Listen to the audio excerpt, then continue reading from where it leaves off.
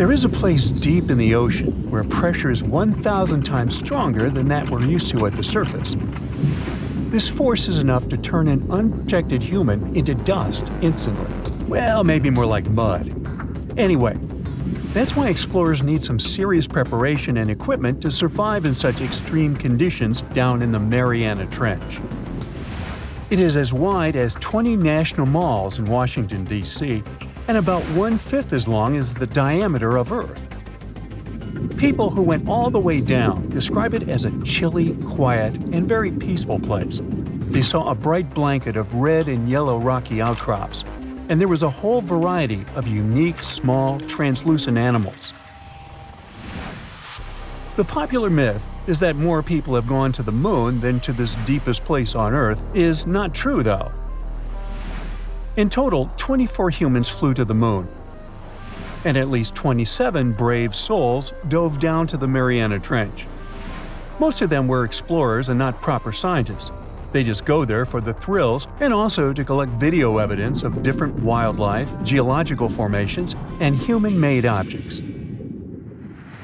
Humans started traveling around space and into the ocean depths at around the same time. The first moon landing was in 1969, and the first person to go down the Challenger Deep, the deepest part of the Mariana Trench, did so in 1960. This unusual location got its name after the British ship HMS Challenger, which first located this massive drop in the ocean floor at the end of the 19th century. It would take eight more decades before the first human went down to it. Explorers didn't manage to do it in a conventional submarine. They used a type of submersible called a bathyscaphe. The Swiss oceanographer Auguste Piccard designed his own in 1953. Seven years later, the submersible managed to do the impossible. It had reached a depth of nearly 36,000 feet. But what explorers saw was merely a fraction of the trench's full size. The fact that it is so huge of the Mariana Trench is just one of the reasons why it's mostly unexplored today. The absence of light is another major issue. Sunlight is incapable of reaching such profound depths, so the entire trench, from top to bottom, lies in absolute darkness. Because of such conditions, the ecosystem is a lot different than the shallower regions of the Pacific. This puts immense pressure on marine wildlife. Yeah, the pun is intended. Another reason why it's so challenging to survive there is the temperature. Water freezes at 32 degrees Fahrenheit. At the bottom of the Mariana Trench, the ocean is just a couple of degrees above freezing. One of the factors that hasn't let this area turn into a giant icicle is the fact that salt water has a slightly lower freezing point. The other reason is geothermal energy that warms the ground at the bottom of these just enough for it not to freeze. That's why submersibles need to have proper insulation to navigate these icy conditions. When they reach the bottom, researchers find out that this desolate and harsh climate is home to several animal species, they encountered arrow-tooth eels, snailfish, and spoonworms at various depths. There were even strange-looking translucent sea cucumbers and shrimp-like amphipods. The biggest surprise was microbial mats thriving on methane and hydrogen from the mud. Among the species, the Mariana snailfish looks like a master of the environment that can go farther and deeper into the trench to feed on prey than its competitors. Despite its seemingly fragile appearance, the snailfish has adapted to withstand extreme pressures, a superpower it wouldn't be able to survive without. The exotic life forms that live deep down aren't normal-sized, since deep-sea gigantism makes them grow significantly larger than their counterparts in other ecosystems. One example is the giant tube worm, which can be 6 feet long Science has a hard time explaining the exact cause of this form of gigantism. Thermal vents are just one of the possible explanations. All of these factors might help explain the huge time gap in researching the Mariana Trench. The first successful dive after the 1960 expedition came only in 2012. That's when the famous Canadian film director James Cameron went down in the Deep Sea Challenger.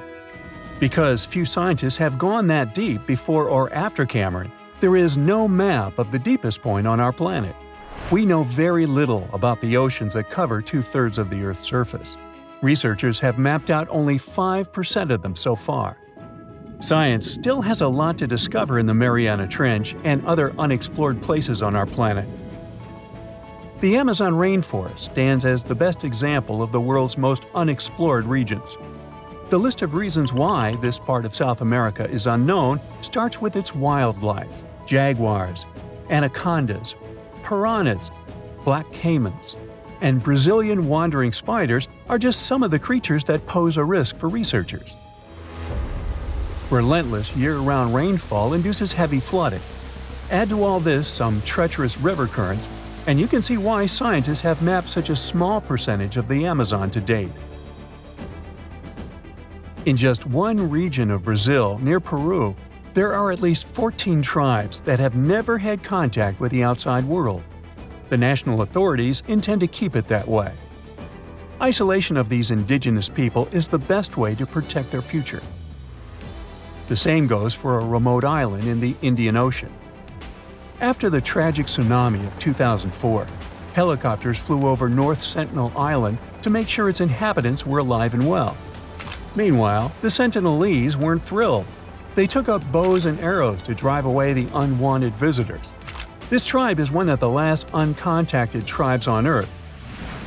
Although anthropologists and filmmakers visited the island in the late 1960s, we still don't know much about its indigenous population. It sits a long way off any shipping lanes in the Bay of Bengal. North Sentinel has no natural harbor, and it's surrounded by a shallow reef. This makes access to the island possible only by boat. The Indian officials who lay claim to the island have prohibited outsiders from visiting the island for safety reasons. The estimates on how many people inhabit the island vary significantly, from as few as 15 to as many as 500.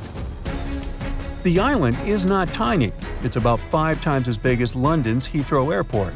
Apart from occasional contact during the past two centuries, the Sentinelese must have been isolated for a long time. They are related to other indigenous groups in the Andaman Islands, but their neighbors cannot understand a word of their language. The continent of Antarctica has no permanent human settlements at all. The only people who periodically live there are international scientists. This vast expanse of ice and snow, roughly the size of the United States and Mexico combined, still has many regions where humans haven't set foot. Satellite imagery and photos that NASA's aircraft made from the air have mapped out the entire continent. So we know where to go, but it's not that easy. The reason for this are all the adjectives that go with Antarctica. It is the coldest, windiest, driest, and brightest of the seven continents. This makes it virtually unlivable. More than 99% of its surface is covered with a permanent sheet of ice. Its thickness ranges from 1 mile to as many as 3 miles in some places. That's half the height of Mount Everest. Now, the Himalayan range contains the world's tallest unclimbed mountain. It is also the tallest mountain in Bhutan. In the local language, the mountain's name translates as White Peak of the Three Spiritual Brothers. Out of respect for the spiritual beliefs of the local population, national authorities restricted and then completely banned mountaineering at the beginning of the 21st century. To this day, there is no evidence that any climber has ever managed to successfully reach the summit of this mysterious mountain.